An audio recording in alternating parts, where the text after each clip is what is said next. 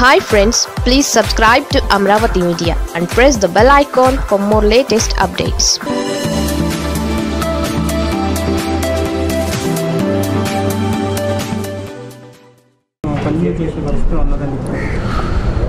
అంటే ఇప్పుడు ఎలా ఉందంటే ఈ రాష్ట్రంలో రాష్ట్ర ప్రభుత్వం ఉంది. ఎన్నికలు వాయిదా వేయాలన్నా ఎన్నికలు నిర్వహించాలన్నా రాష్ట్ర ప్రభుత్వంతో సంప్రదించాలి. ఒక ఎన్నికల సంఘమే ఎన్నికలు పెట్టేస్తామంటే అయ్యేటువంటి పని కాదు. అనేక మంది వచ్చి ఓటేయాలి. ఈ కరోనా ఉన్న టైంలో వాటికి కావాల్సినటువంటి నియమాలు నిబంధనలు ఉంటాయి.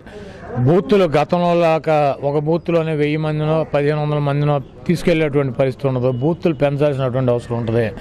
ఎంప్లాయీస్ని ఈ ఎన్నికల ప్రక్రియలో ఇన్వాల్వ్ చేయాల్సినటువంటి అవసరం ఉంటుంది.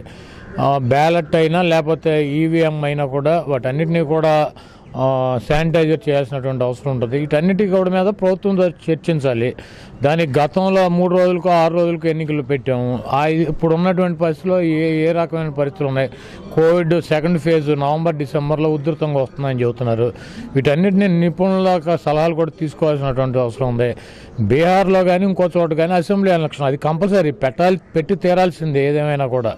అయినా కూడా వాళ్ళు దాని మీద బోళ్ళు స్టడీ చేసి బోళ్ళు అంత రాష్ట్రంలో ఉన్నటువంటి పార్టీలని కేంద్ర ప్రభుత్వాలు వాళ్ళ సూచనలు సలహాలు అన్నీ తీసుకుని ముందుకెళ్ళారు. ఇక్కడ నేను నిమ్మగడ్డ రమేష్ కుమార్ నేనే చెప్పిందే వేదం నేను చెప్తే ఎలక్షన్ పెట్టాలి నేను ఆపేస్తే ఎలక్షన్ ఆగిపోవాలన్నటువంటి దృక్పథంతో అతను నడుస్తున్నాడు.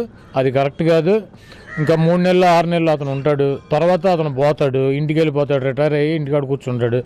ఈ రాష్ట్ర ప్రభుత్వం పాతికేళ్ళు ముప్పై ఏళ్ళు నడపాల్సినటువంటి రాష్ట్ర ప్రభుత్వం. ఇక్కడ ఉన్నటువంటి ఎంప్లాయీస్ కానీ లేకపోతే ఇక్కడ ఓటర్స్ కానీ వీళ్ళు శాస్త్రం ఇతను హైదరాబాద్లో ఉంటాడు. హైదరాబాద్ ఇల్లు నాలుగు నెలల తర్వాత వెళ్ళి హైదరాబాద్లో పడుకుంటాడు. హైదరాబాద్లో ఉంటాడు.